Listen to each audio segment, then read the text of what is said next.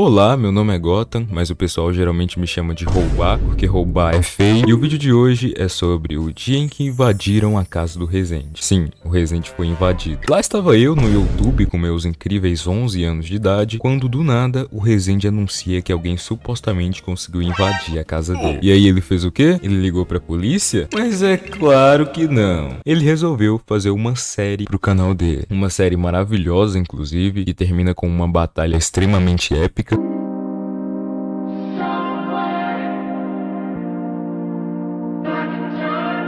Fala aí galera, tô aqui com o invasor. Ele me amarrou aqui e me jogou aqui no porão e disse que vai trazer o cabo de vassoura. Deve ser pra varrer essa sujeira aqui no chão. Então é isso, se você gostar do vídeo deixa o like e se não gostar eu vou mandar o meu anão de estimação ir atrás de você. Entra também no nosso Discord que tá aí na descrição porque eu tô organizando um vídeo pra fazer com o pessoal de lá. Então se você quiser participar, entra lá, beleza? Agora, bora pro vídeo. Deixa eu vir lotear! Desgraça!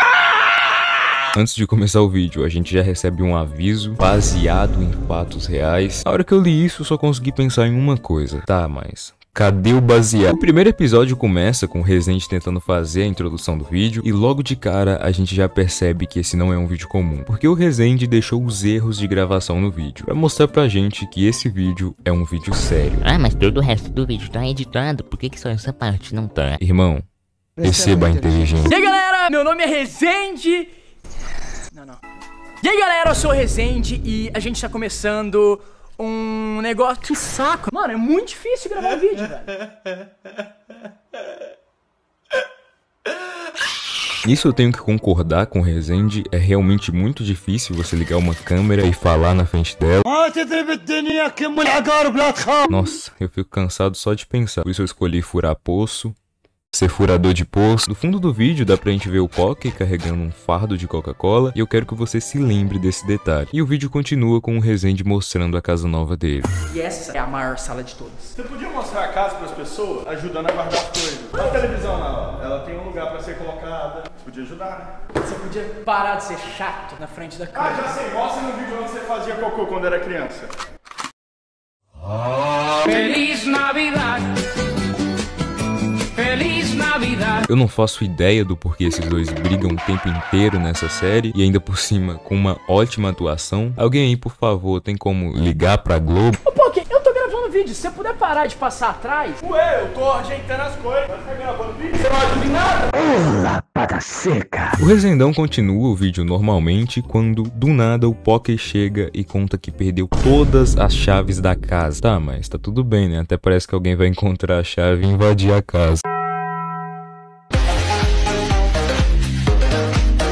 Ao longo do vídeo a gente também descobre que várias portas da casa estão com problema e o Resende conta também que essa casa já foi assaltada várias vezes. Ou seja, com toda certeza esse é o melhor e mais seguro lugar para se morar. Em um certo momento do vídeo, o Resende escuta um som de chuveiro ligado. Então ele chega à conclusão de que provavelmente era o Pocky tomando banho. E é aí que ele tem uma brilhante ideia, com toda certeza uma das melhores que ele já teve. Por que não entrar com a câmera no banheiro e filmar o Pocky enquanto ele toma banho? Meus parabéns, Resende, pelas suas ótimas ideias. Continua assim que já já você tá na cadeia. Só que pra infelicidade do Resendão, não tinha ninguém tomando banho lá. Vamos lá zoar com ele.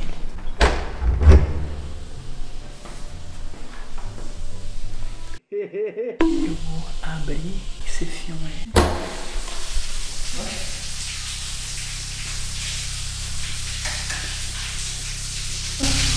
Sacanagem que ele deixou o negócio aberto, né? Tá zoando que ele deixou o negócio aberto. Opa! Então o Resende vai lá tirar satisfação com o Pocky. E esse incrível diálogo acontece. Você deixou o chuveiro aberto! O chuveiro do banheiro, você deixou aberto! Sério, tava aberto! Eu tô ouvindo música e bebendo Coca-Cola, descansando depois que eu carreguei a merda daquela mudança inteira enquanto você fazia vídeo. Nem fui lá em cima Tá ainda. gravado aqui, já tava ligado o chuveiro lá.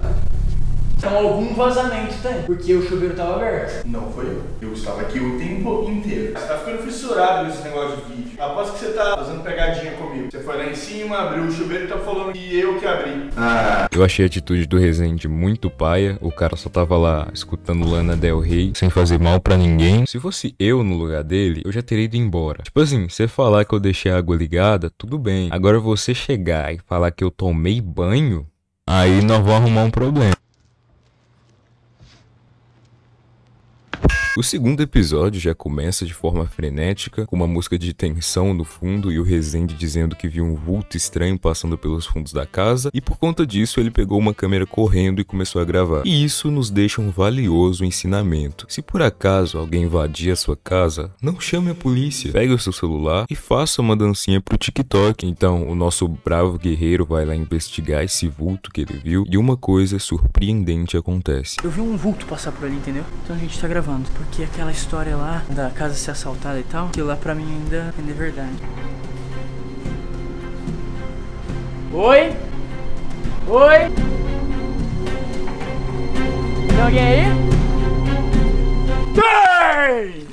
Tá louco? Pois é, depois do editor do Resende aumentar a música até que a minha audição se torne apenas cinzas, a gente descobre que o Pocket estava fazendo coisas suspeitas no escapamento do carro. E foi assim, crianças, que nasceu o primeiro Transformer. O Pocket fica todo sem jeito e explica que ele só estava jogando bola, então ele nos mostra um pouco da sua incrível habilidade com as bolas. Era você que tava aqui? Óbvio que era eu. Quem mais iria estar aqui? Tá O que você tava maluco? fazendo aqui, velho? Eu tô brincando com a bola aqui. Aí vê um babaca pegar a câmera, o outro babaca vem descendo. Eu achei que era alguém que tinha invadido a casa. Só que o Rezende, ele fala que não faz sentido o vulto ser o Pocky, porque, de acordo com ele, o Pocky é gordo, e o vulto que ele viu era magro. Não é possível, meu Deus do céu. Eu admiro muito essa habilidade ocular do Rezende, porque um vulto é algo que passa rápido, né? Algo que você não consegue ver direito. E mesmo assim, o Rezende conseguiu definir até o peso do vulto. Eu acho que se você perguntar pra ele o que o vulto comeu ontem, ele vai saber te responder. Rezende, eu acho que você deveria comprar um whey protein e deixar na porta da sua casa, viu? Porque um invasor com desnutrição aí não dá. Pelo menos eu tenho um palpite de quem pode ser esse vulto. Uma dica: começa com Thaís. O vídeo corta pro Rezende e o Pock andando na rua e o Rezende explica que eles estavam procurando um lugar pra comprar refrigerante. E eu quero parabenizar os dois por terem conseguido tomar um fardo de Coca-Cola em menos de um dia. O Rezendão mete uma desculpa esfarrapada de que eles começaram a gravar porque tem um youtuber que mora lá perto e eles resolveram dar uma passadinha na casa dele. Me falaram que ele morava aqui. Você tá feliz agora de saber que o cara tinha uma casona? Aham. Vamos ver se ele fala com a gente aqui. Será? Que idiota, velho. Deve ser outro bobo alegre que foi gravando vídeo. Que droga, mano. Achei que ele ia falar com a gente.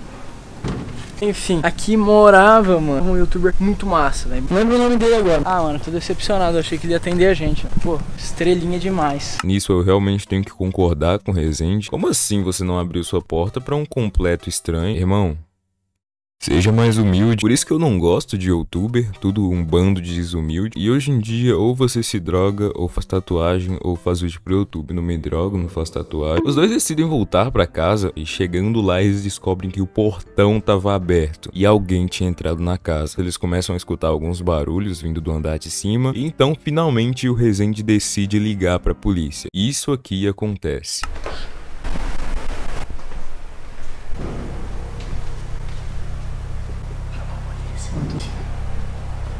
Sem sinal. Aqui não pega sinal. Deixa eu ver se eu tenho. Não? Carlos.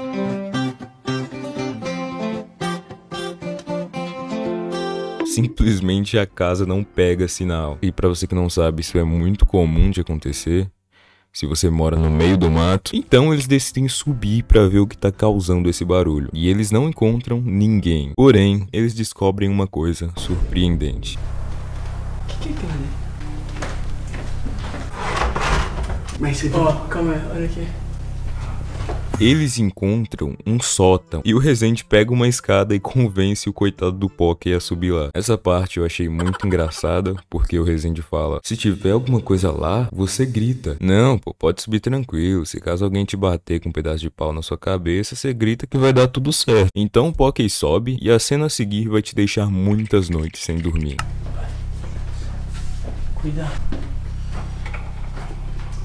Cuidado.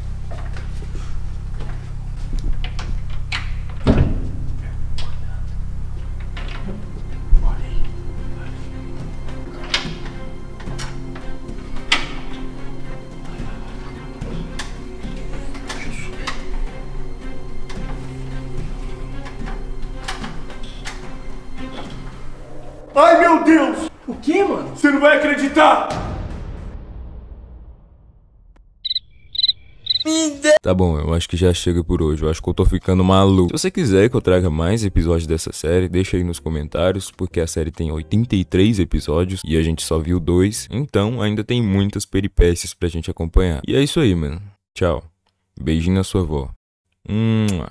Eu tava há muito tempo esperando por isso daqui por vários motivos. Primeiro, um mini LED. Segundo, suporte para HDR. Terceiro, 8K. E quarto, porque eu sou gay.